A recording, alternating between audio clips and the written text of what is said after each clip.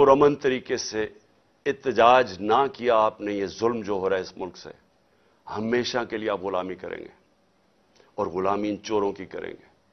कोई आपका मुस्तकबिल नहीं है।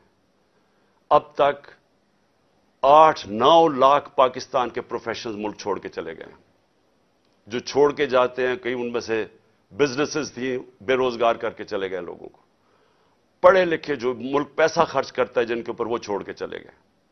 शौकत खानम से चार बड़ा मुश्किल है कैंसर के स्पेशलिस्ट डॉक्टर्स चार हमारे अहम डॉक्टर्स वो छोड़ के चले गए। लोग मायूस हो गए हैं। ये तरीका नहीं है छोड़ के जाने का। खड़े होकर लड़ने का है। जहाद लड़ने का है। और आप सबको, मैं जेल में जाता हूँ या मुझे ये कुछ कर देते हैं, आप सबने खड़े होना है।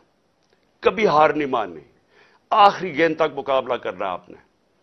और मैं समझता हूँ कि अल्लाह वाज तौर पे कुरान में कहता है कि मैं कभी किसी कौम की हालत नहीं बदलता जब तक वो खुद अपनी हालत बदलने की कोशिश ना करे। ये जो प्लान बनाया हुआ है आज का, मैं फिर से बता रहा हूँ सारी कौम को कि ये करने जा रहे हैं। लेकिन मुझे जो अफसोस है कि देखिए इनके जहन, पंजाब पुलिस के लोग मार देंगे खुद ही।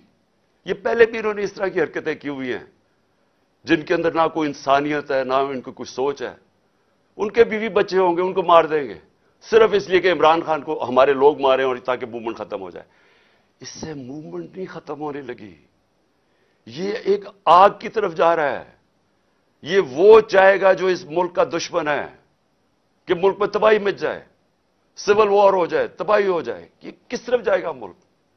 सारे पाकिस्तानियों को मैं बताना चाहता हूँ कि ये जो ऊपर बैठ के मुल्क के फैसले कर रहे हैं, इनसे बड़े गद्दार कोई नहीं है।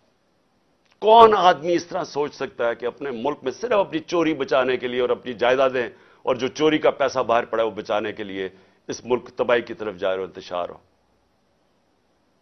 इंशाला आप सबसे हफ़्ते की रात को तरावियाँ के बाद मीनार पाकिस्तान में मुलाकात होगी।